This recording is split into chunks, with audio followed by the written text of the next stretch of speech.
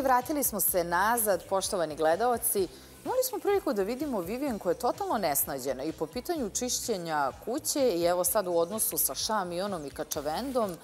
Kako ona vama izgleda, Džekla? Pa meni je baš nesnađena. Ja sam mhm. mnogo ranije to primetila da devojka mhm, stvarno je mhm. nesnađena. Pa sam ja pitala na komenta, čekaj, devojka, čime se ti baviš? Znači, se ona pravi blesava, kako u kućani kažu? Da, ne verujem ja da se pravi blesava. Ne, ne, prirodno je nesnađena devojka. Prirodno je nesnađena. E sad vidjet ćemo kako će biti do kraja. Meni bilo isto jedno, bilo tako smešno. Šta je bilo? Valja ova je dala, mali Vuk joj je dala novac da ide ona da pazari. Mhm. Ova ništa se nije snašla, nije ni spazarila, nije ni kupila što je treba da kupi za celu nedelju i pola para je ukrala. Au. I ja došla, ono svađa frka. I ona su plašila kad sam ja došla i ona pobegla u krevet. Pa ipak su ona snašla. I pobegla u krevet. I ja odim kod nje i kažem, ajde šta si sad radila, ispričaj mi, zašto si to uradila? Kaže da se kocka kao. Pa zašto si? ona počela da plače i bilo mi žao. Kaže, uzela kao para i jesam, uzela, priznala svoju grešku i ajde, kad priznaš mhm. pola ti se prašta, kažem ja. Jednog momenta odakle ne izvadila molitvenik, mi otišli, vratili se crni sto i ona dođe, izvadi molitvenik i pošte da čita. Pa dobro, pa to nam... Pa greh krađa. Pa nije, nije, to nam mnogo govori.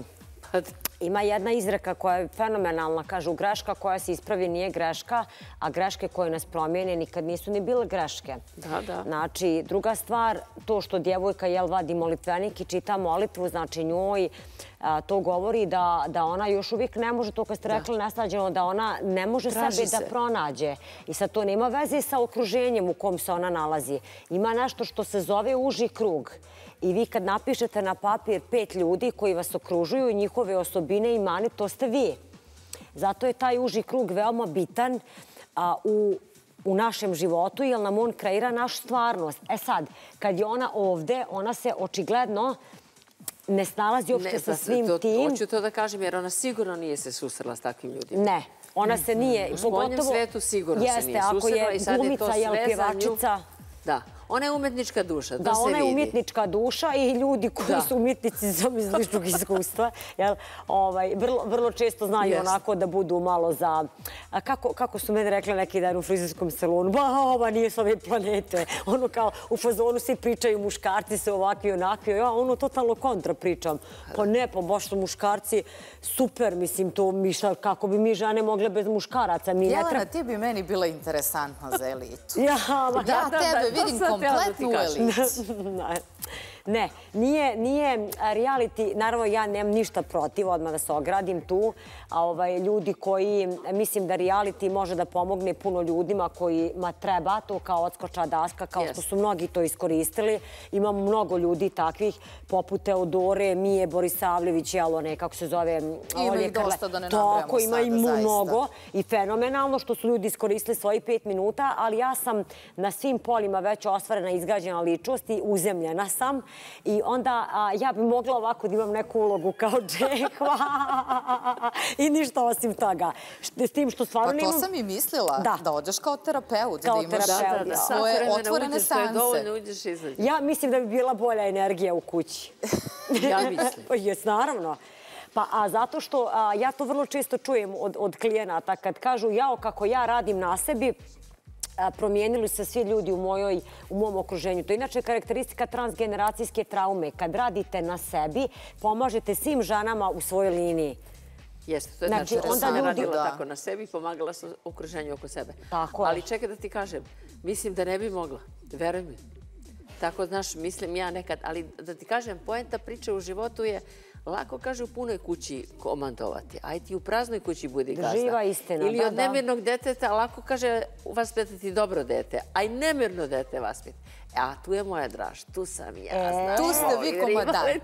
Tu ja volim taj rivalitet, to me ispunjava. Džehval, kad smo kod različitih profila, snađenih, nesnađenih, imamo u kući jedan par koji je ušao kao, hajde, pa oni su sami za sebe rekli da su u vambračnoj zajednici, gledali su se kao muž i žena.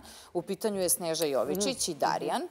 Pa su se onda posvađali, pa se sad tu nešto možda mire, možda ne mire.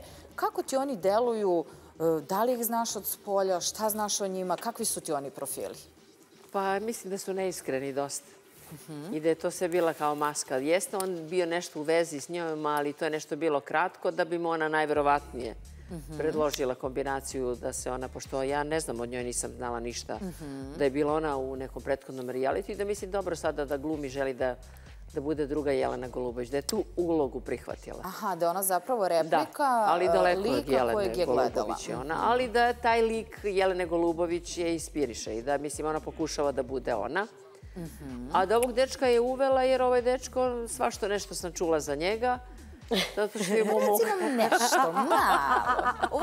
Zato što je u mom okruženju blizu Kačareva, Brestova se zove mesto, tako igram slučaj sa njegovom snajkom. Sam radila u restoranu gde radim, Aha. da ovaj, neke stvari sam saznala i onda sam povezala s obzirom da su bili odmah tu da ja sedim, da ja budem interesantna mi je bila, bila mi malo i mene duše nervirala, ovaj, pa sam se malo pozabavila njima. Je li imalo tu šta interesantno da se sazna?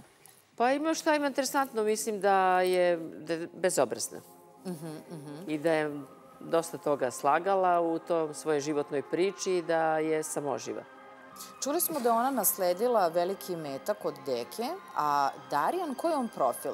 Da li su njih dvoje neko ko može da gradi sutra kuću, okućnicu, što se Pa kaže? teško da bi Ili su se našli po nekom Oni rasipništvu? su se stilom prilika našla gde su se našli, gde su taj neki restoran kao pokušali da otvore, međutim od toga nema ništa. Kad ona meni zna stalno, ja imam restoran, od toga nema ništa. Kakav restoran? To je priča za malu decu. Ovaj, potrošila se taj novac, pa sam mislite ponovo će da ga steknu, da ga naprave, neki dugovi tu postoje, nečiji, da se ispegla to malo. Da Sneža zaradi. sigurno nije u dugovima, ona Sneža nije, da. špara. Znači, Dario Dario u Dario je u dugovima. nekim dugovima, da se ispeglaju ti dugovi, pa vidjet će šta će da radi. Ali mislim da će svako na svoju stranu. Ma oni su isti. A da li onda on možda i ušao sa njom u vezu zbog imetka, ako Pa sad znamo da je bio u dugovima? I u reality, između ostalog, reality, je, reality igrač je postala ozbiljna profesija gde se Jeste, za jako neke dobro ljude daje zarađuje. ozbiljne profesije.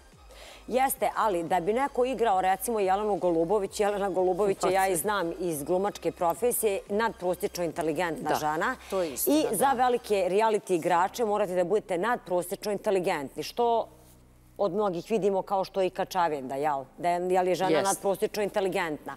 Ovaj, ja želim da je vidim stvarno u vrhu, to čak kad bi objedla, to bi mi bilo top. A što se tiče Snježe i ovog Darjana, oni su zapravo isti. Znate ono kad ljudi kažu ona je dobra, a kako može biti s ovim, a, sa ovim ili obrnuto? Ne, oni su isti.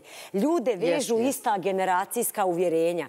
Znači oni u svojim predačkim, ja opet i te pretke, džaba toliko ih volim, no mogu da i ne spomenem. Preci, nepreci, dugovi, nasledstva, ljudi, moji glava će me zaboleti šta mi sve